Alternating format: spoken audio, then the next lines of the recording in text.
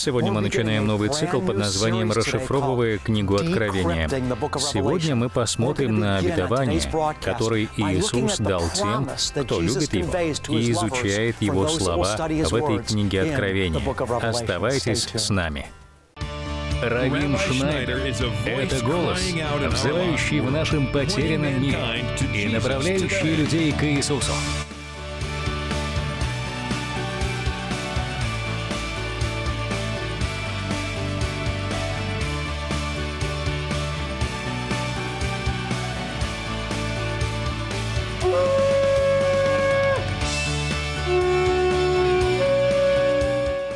Шалом, я Синтия, жена Равина Керта Шнайдера.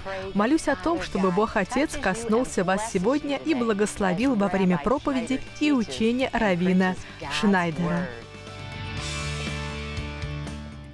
Пусть Бог благословит вас и шалом, возлюбленные. Меня зовут Равин Шнайдер. Я очень рад быть сегодня с вами на этом особом выпуске передачи «Узнавая еврейского Иисуса». Сегодня я начну новый цикл, который называется «Расшифровывая книгу Откровения». Многие из нас хотят понять книгу Откровения, но она кажется нам странной и пугает нас. Мы пытаемся читать ее, но не понимаем. А вот почему многие верующие не знают, о чем книга Откровения. Возлюбленные, в этом цикле я хочу упростить книгу Откровения. Я помню, как когда только стал верующим, 30 лет назад, и открыл книгу Откровения, то не понял ее. Кроме того, она напугала меня. Ведь когда я прочитал обо всех тех ужасных вещах, которые будут происходить на земле во время скорби, то мне было трудно принять то, о чем говорит Библия. Она рассказывала о семи чашах гнева. Я не понимал, как все это может идти в паре с любовью Божией, о которой я читал в Евангелиях. Было такое чувство, словно это два разных Бога. Одним Богом был Иисус, который собирал к себе детей и благословлял их. О нем я читал в Евангелии. А когда я прочитал книгу Откровения, то, как мне показалось, я увидел совсем другого Бога, а не того Иисуса, который благословлял детей. Это так расстроило и запутало меня, что я не дочитал книгу Откровения. Я помню, что в библейской школе у нас был чудесный профессор, который учил о последних временах. Это был курс по книге Откровения. Мне нравился этот профессор, а я ему. Я очень нравился ему, потому что был единственным евреем в школе. У нас действительно были чудесные отношения. Я получил пятерку по этому предмету, а почему? Потому что выучил все ответы ответы. Но когда курс закончился, несмотря на то, что у меня была пятерка по нему, я все равно не понимал книгу Откровения. Книга Откровения была загадкой для меня.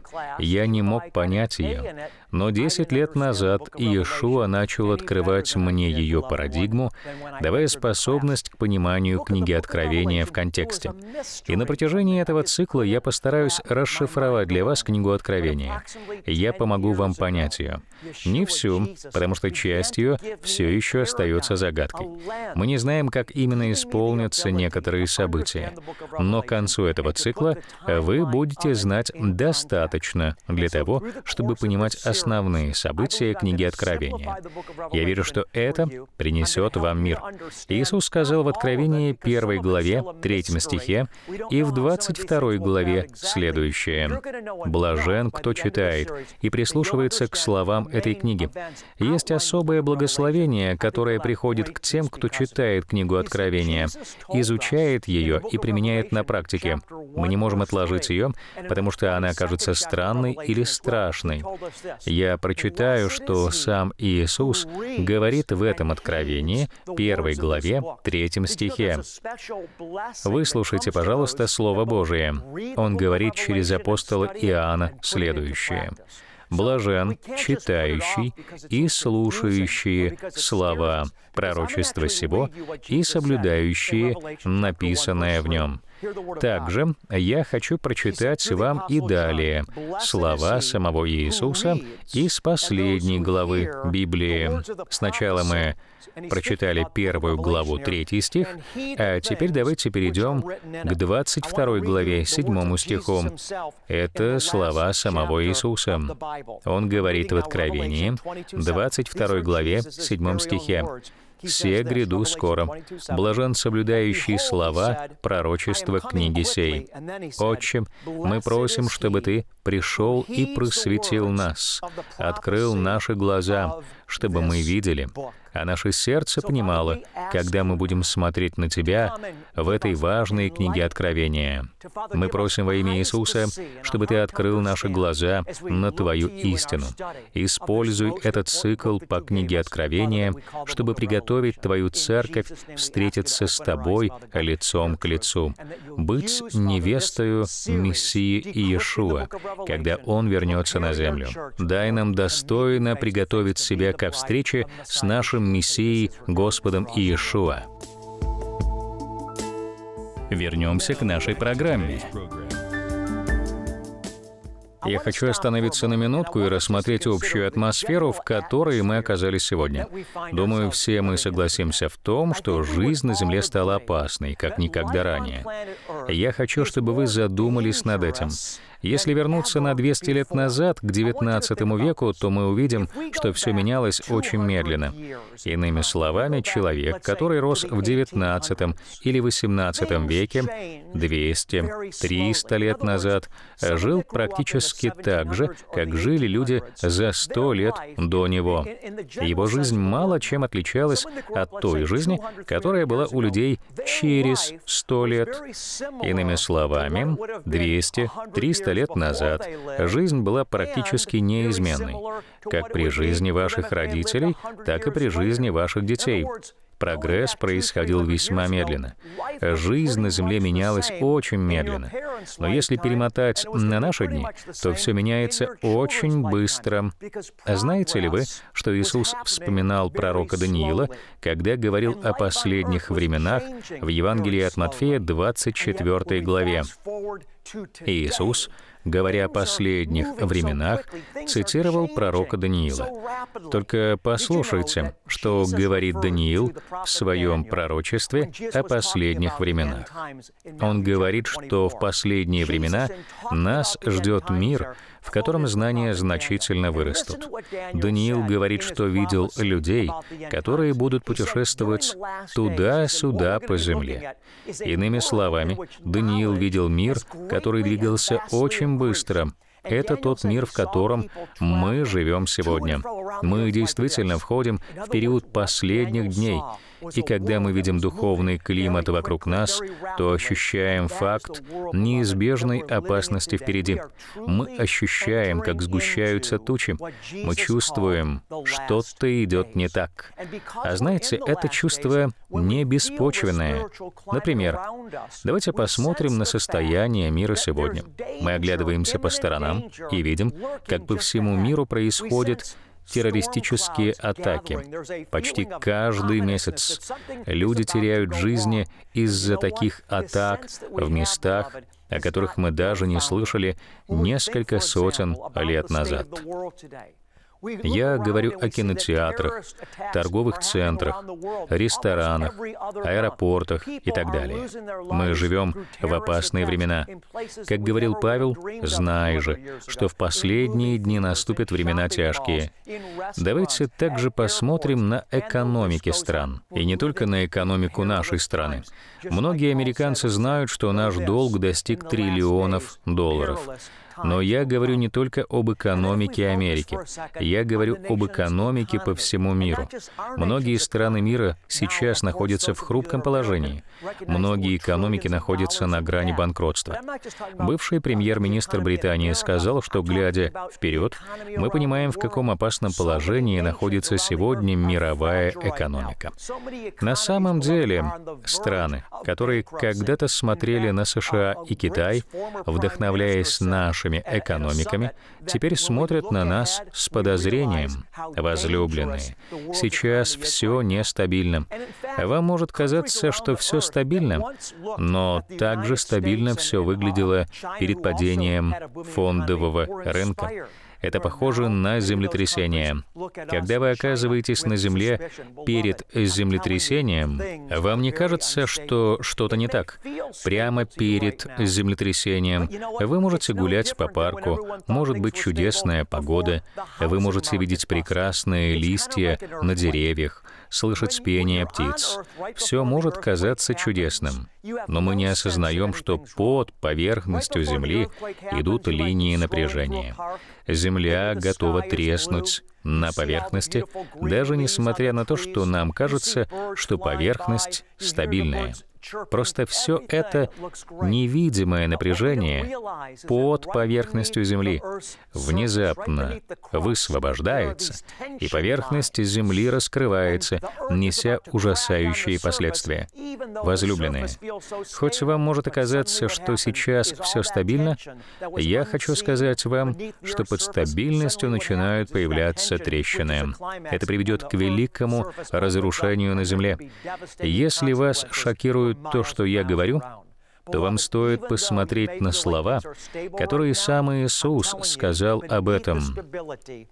В Евангелии от Матфея 24 главе Иисус сказал нам, что народ восстанет на народ, а царство на царство. Наступят опасные времена по всей земле. Иисус сказал, что не было времени, похожего на это, и впредь не будет. Если бы не сократились эти дни, то никто не спасся бы. Возлюбленные, мы должны приготовиться. Мы должны трезвиться и быть готовыми. Я хочу поговорить вот о чем. Мы затронули экономику, террористические атаки. Но есть еще одна вещь, которая также связана с этим посланием. Иисус говорил о том, что признаком последних времен будут ужасные войны. Я хочу, чтобы вы задумались над этим. Общество очень продвинулось в этом. Возлюбленные, 50 лет назад маленькие страны ничего не могли поделать с такими титанами, как СССР и США. Но сегодня, когда даже у маленьких стран есть ядерное оружие, мы оказываемся близки к тому моменту, когда какая-то страна, для которых США и Израиль являются врагами, может устроить ядерную атаку на нас — Возлюбленные, это будет началом того, что Библия называет Армагеддоном. Это невозможно остановить. Возлюбленные, у нас есть великая сила на земле. Я говорю о малых странах, которые обрели силу благодаря ядерному оружию. Они направляют оружие против США и Израиля. Возьмем для примера бывшего президента Ирана Махмуда Ахмадинеджада. Он готов был использовать ядерную мощь своей страны против США и Израиля.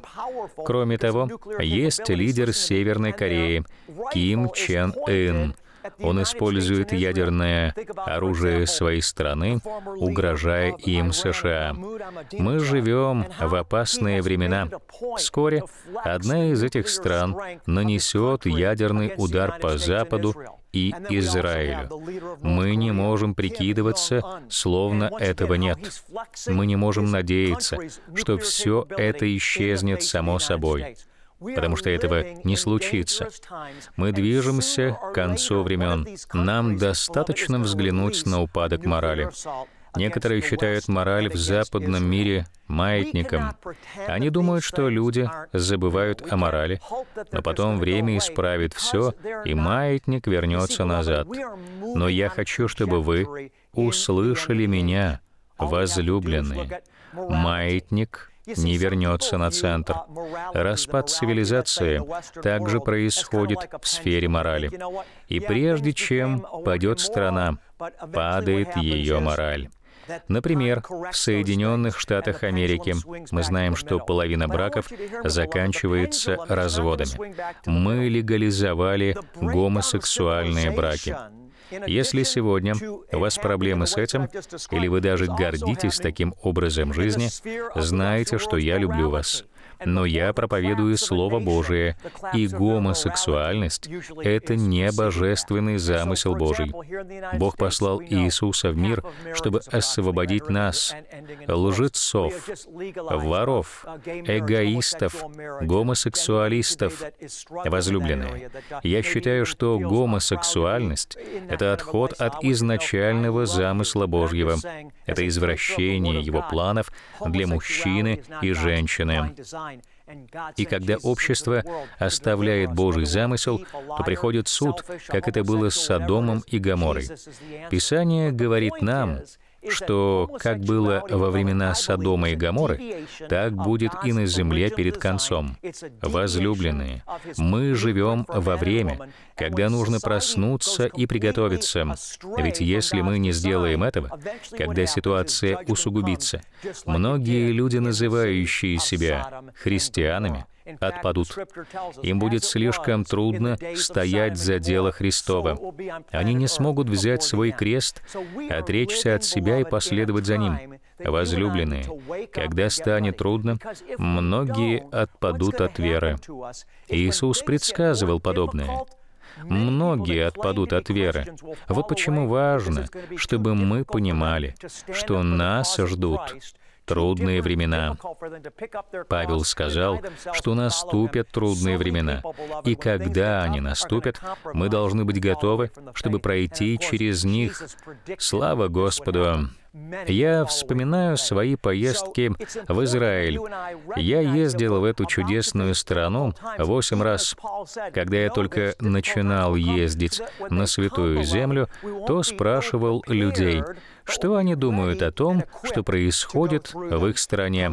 И во время первых поездок евреи были настроены позитивно, наполнены надеждой, оптимизмом, но я помню, как задал тот же вопрос пять лет назад и увидел, что энтузиазм угас. Они начали больше бояться, переживать. А когда я в последний раз был в Израиле, это год назад, то снова задал этот вопрос. И знаете, что ответили мне многие израильтяне? Они ответили мне в духе безнадежности. Они пробовали многое, но ничего не сработало. И теперь каждая окружающая их страна становится все сильнее и сильнее в военном плане. Они направляют свое оружие на них. Возлюбленные, чувство безнадежности захватило землю. Библия говорит нам, что перед возвращением Иешуа сдерживающий больше не будет сдерживать. Иными словами, Бог позволяет злу подняться. А когда зло поднимается, то на поверхности Земли возникает все больше проблем.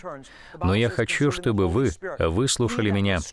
Я хочу поделиться с вами посланием надежды. Библия говорит, что мы лучше победителей в том, что было, есть и будет, потому что Он возлюбил нас. Иисус учил нас о последних днях.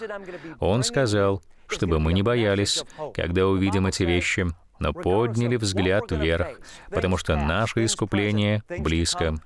Я хочу ободрить вас.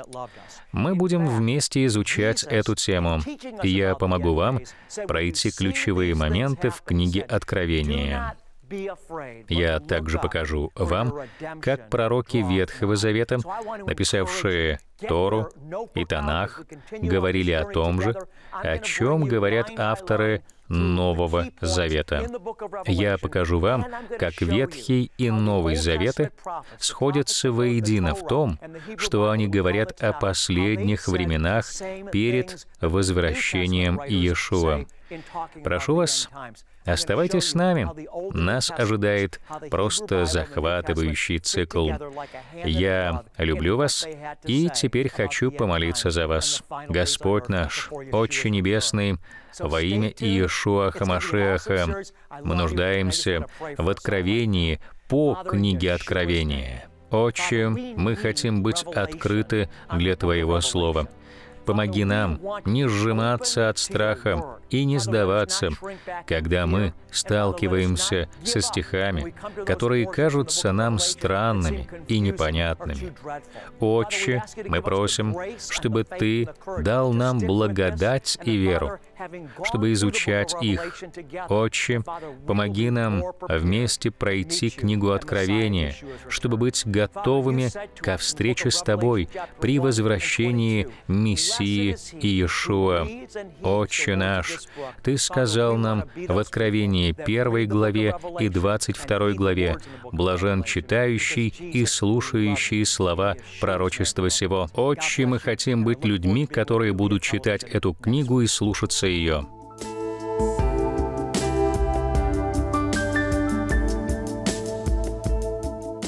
Если у вас есть свидетельство о том, как Бог изменил вашу жизнь через служение, узнавая еврейского Иисуса, то поделитесь им с нами. Зайдите на наш сайт и кликните на ссылку «Свидетельство». Спасибо вам! Я очень ценю вашу книгу «Самоосвобождение». Каждый христианин должен прочитать эту книгу. Теперь я знаю, как применять покрытие его крови. Это изменило мою жизнь. Я отвергла мысли, которые сатана пытался навязать мне. Огромное спасибо вам за то, что поделились этими знаниями со мной, Молин. Мы рады, что вы смотрели нас сегодня. И мы хотим помолиться за вас. Присылайте свои молитвенные просьбы по почте или посетив наш веб-сайт. Мы также хотим поблагодарить вас за вашу финансовую поддержку. Ведь поддерживая наше служение, вы становитесь партнером Бога в Его построении Царства. Спасибо вам, и пусть Отец воздаст вам за вашу щедрость радость. Тысячи лет назад Бог сказал Моисею и Аарон, «Произносите это благословение на мой народ, и тогда мое имя будет на них. Он дарует вам свое имя и продолжит по-новому благословлять вас. Да озарит вас Господь светом лица своего, и будет милостив к вам. Да обратит Господь к вам лицо свое, и да дарует вам свой мир, свой совершенный шалом.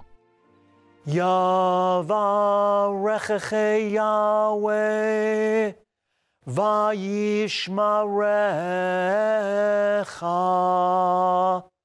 Ya'er Yahweh panav elecha. Vichunecha.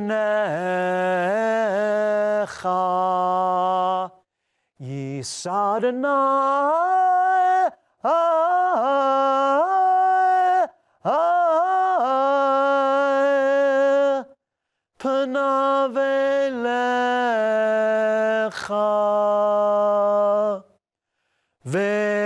Hashem lecha shalom.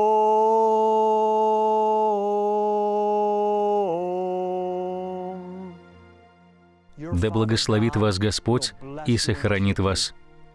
Да озарит вас Господь светом лица своего и будет милостив к вам. Да обратит Господь к вам лицо свое и да дарует вам свой мир, свой совершенный шалом.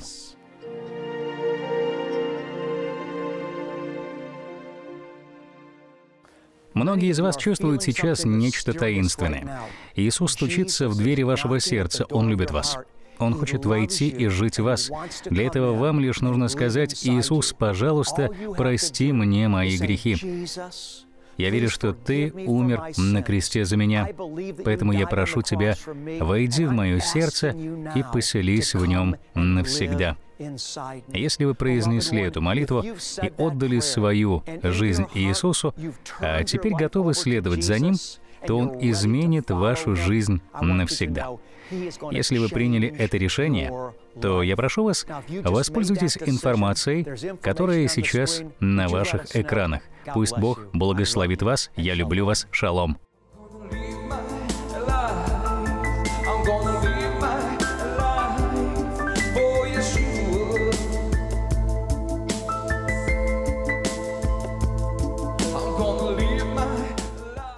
На следующей неделе я покажу вам, как скорбь, о которой говорил Иисус, также упоминается в Ветхом Завете. Пригласите к себе друзей, чтобы посмотреть этот выпуск вместе. До скорой встречи. Пусть Бог благословит вас, и Иисус любит вас. Шалом.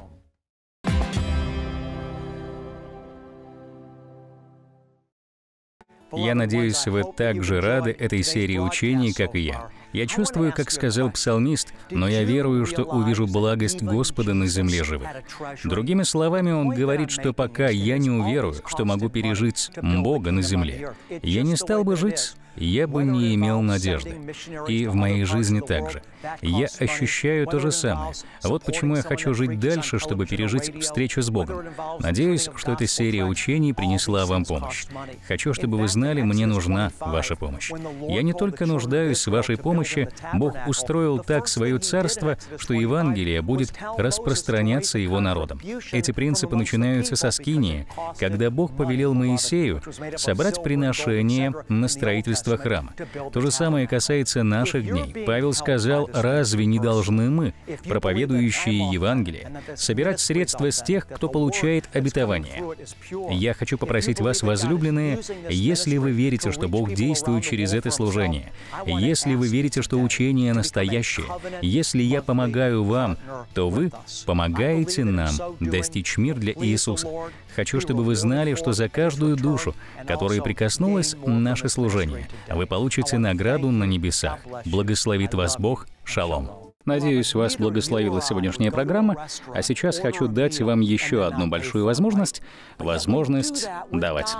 Иисус сказал блажение давать, чем принимать. Давая, мы отражаем природу Христа, потому что Бог по своей природе даятель. Он так сильно полюбил нас, что отдал своего единственного Сына. Если вы верите в меня и в эту программу, то откройте свое сердце Духу Святому и дайте столько, сколько Он побуждает вас дать. Я вам обещаю, делая это, вы будете преображаться в образ Христа и будете благословлены за свое послушание Богу. Спасибо вам за вашу финансовую поддержку. Благодаря ей эта программа до сих пор выходит в эфир. Будьте обильно благословлены. Шалом, друзья друзья. И если вы хотите стать нашим партнером, то отправляйте свои пожертвования по адресу, который вы видите на экране. Или же вы можете сделать это на нашем веб-сайте. благодарность мы вышлем вам аудиопроповедь Равина Шнайдера, а также наш информационный бюллетень, чтобы больше узнать об этом служении, а также ознакомиться с материалами, написанными Равином Шнайдером и мессианской музыкой от Джошуа Джеймса, заходите на наш сайт. Смелая и вдохновляющая, простая и ясная. Эта книга Откровения расшифрована. От Равина Шнайдера, у которого более 40 лет опыта в изучении Ветхого и Нового Завета. Вас ждет захватывающее путешествие, в котором вас будет направлять призма еврейских пророков. Откройте ответы на древние загадки и скрытые ключи, которые повлияют на вашу жизнь сегодня. Примите Божие благословения. Книга «Откровение» расшифрована. Приобретите свой экземпляр сегодня, позвонив по номеру, который видите на экране, или на нашем сайте. Телепередача Равина Шнайдера «Узнавая еврейского Иисуса» теперь доступна на русском языке на YouTube. Равин – еврейский верующий в Мессию Иисуса. Слушая и применяя принципы этих уроков, вы получите откровение сегодня для вашего лучшего будущего. Посетите YouTube сегодня и подпишитесь на канал «Узнавая еврейского Иисуса». Также убедитесь нажать на значок колокольчика рядом с кнопкой «Подписаться», чтобы получать уведомления и не пропустить ни одного эпизода.